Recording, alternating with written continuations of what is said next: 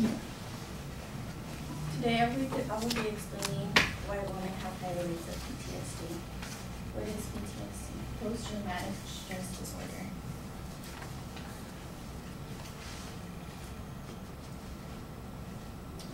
This is a psychiatric disorder that can occur in people who have experienced and witnessed a traumatic event, like a natural disaster, a serious accident, a terrorist act, or other, other violent person assault. People with PTSD um, may avoid people or situations that remind them of events.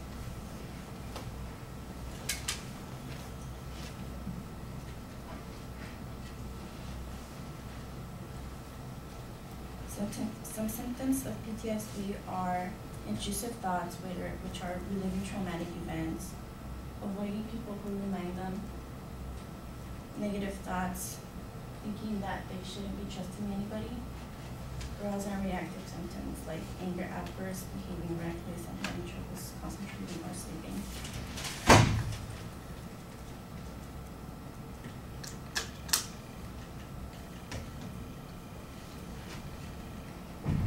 Many researchers focus on male combat veterans, but truly women have double the rate of post-traumatic stress disorder as men. In the article, sexual trauma is particular toxic to mental health, which will include the types of traumas that women experience. The lifetime prevalence of PTSD is is five to six percent in men and ten to twelve in women. Women's PTSD tend to last four years versus one year on average.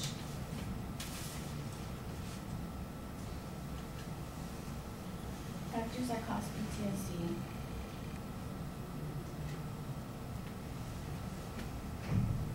Mostly for men, it would be combat trauma, accident, natural disasters, or disasters caused, disasters caused by humans.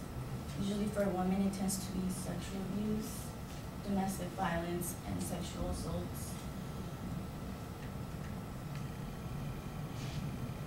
For women, it begins in the young age, about one out of six every woman have experienced attempted sexual assault, are most likely to be diagnosed with PTSD.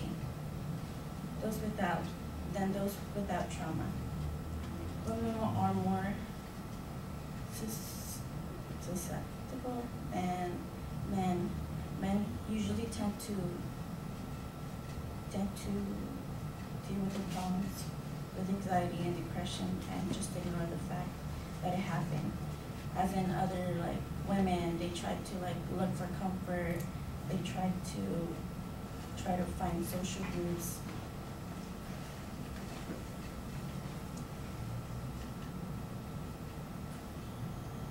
Like they usually tend to have PTSD when they have like sexual assaults and that all that happened. They try to blame themselves for why they're getting divorced and they think they're the problem.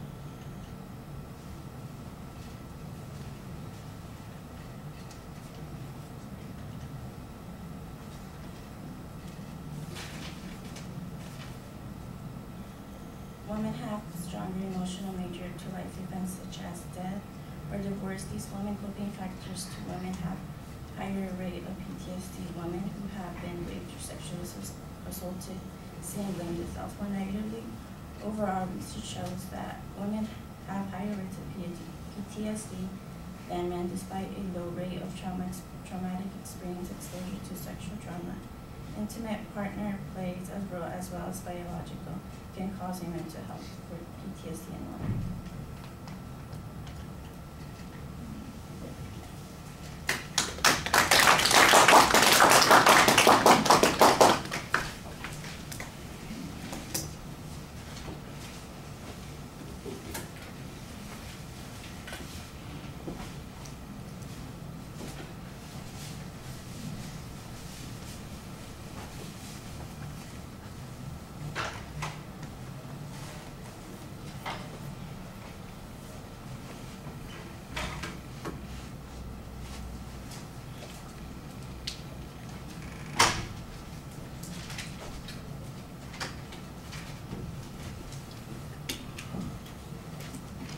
Chi, what did you think?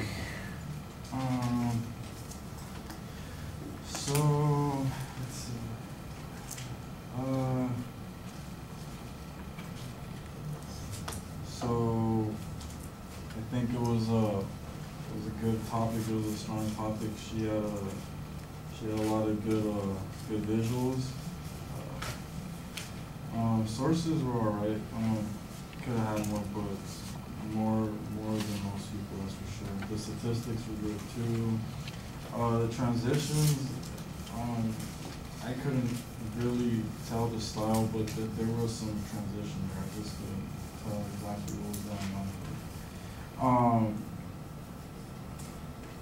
she had uh, tons of tons of factual data, um, but um, maybe facing the audience more would be helpful, um, like having some things memorized.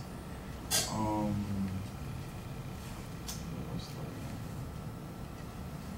Yeah, I mean, it, overall the presentation was, was okay. It could have been longer, um, and just facing the audience more and speaking a little bit louder would have probably made it a little bit stronger. All right. That's what I did. Okay. Well, I think several of those points are probably relevant. You obviously need to project a little bit more because you've got a kind of quiet voice and you're doing a lot of reading, so that makes it harder for the audience to stay engaged with what you're talking about. You're going to have to work on that. Probably being more familiar with the material and less dependent on the notes will help you uh, in the future. Um, a couple of things that she didn't mention that I think I need to mention. There's basically no attention device here. You just start with your topic area and you go from there. And I thought that the topic was an interesting one. I think you've got a good subject here to be discussing, and uh, I think your end goal, talking about the way PTSD works for women differently, is is an important thing to uh, be spending some time on. Uh, I just think that you need to set it up a little bit more effectively and uh, organize it a little bit more effectively. I'd agree with G that a lot of the there's a lot of good information in the speech. Most of it gets cited. There were a few pieces of information that didn't get cited, but you've got a definition of what PTSD is. You kind of compare it to some of the other things that people might be familiar with, and then you point out that uh, one of the main sources of PTSD are uh, sexual assaults and how frequently women might be exposed to something like that that would create uh, a sense of PTSD, uh, uh, a scenario where that would be likely. That that was fine, and like I said, I thought there was some good statistical information that you present on that point. I could not really pick out a structure in the speech. I think there might be one. It's topical in nature, uh, but I couldn't tell you. Uh, it, maybe the points are defining what PTSD is, how women and men experience it differently, what are the factors in that. It, it was a little bit hard for me to figure that out, and it shouldn't be that hard. You you should be structuring for us as you go along, and I didn't think that there were very clear transitions, except sometimes the visuals helped make the transitions. Uh, I, I appreciated the effort that you made to make uh, the sources of PTSD, the factors that might cause PTSD, visual for us. I thought that that was a pretty effective slide, and to suggest what the difference differences might be uh, between men and what causes their PTSD and those for women. I thought that that was ref- referenced pretty effectively. Uh, later on in the presentation, there's a couple of pieces of information that I think need to be um, developed a bit more.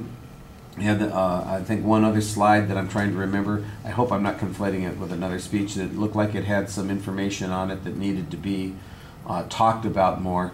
Uh, you, you've got your uh, bibliography uh, at the end uh, on on links, you know, hyperlinks, and that's not necessary to have in the visual presentation. Nobody's going to be clicking on those links during the presentation, so uh, that, I think you've just kind of added that by accident. Uh, it's not something that you need to have in the speech. Um, so, like I said, the things that you need to work on the most are organizational issues. Content is pretty solid. It could be expanded a little bit. As an attention device, for instance, you could talk about uh, uh, a, a person's experience, a woman who's had PTSD for uh, one of the reasons that you mentioned, and uh, maybe she's telling her story or has an event or a circumstance where she had a uh, a moment of PTSD that created a problem for her and relates it back to uh, an earlier event in her life. If you could do that, I think that that would pull us into the subject a little bit more emotionally. All right, thank you.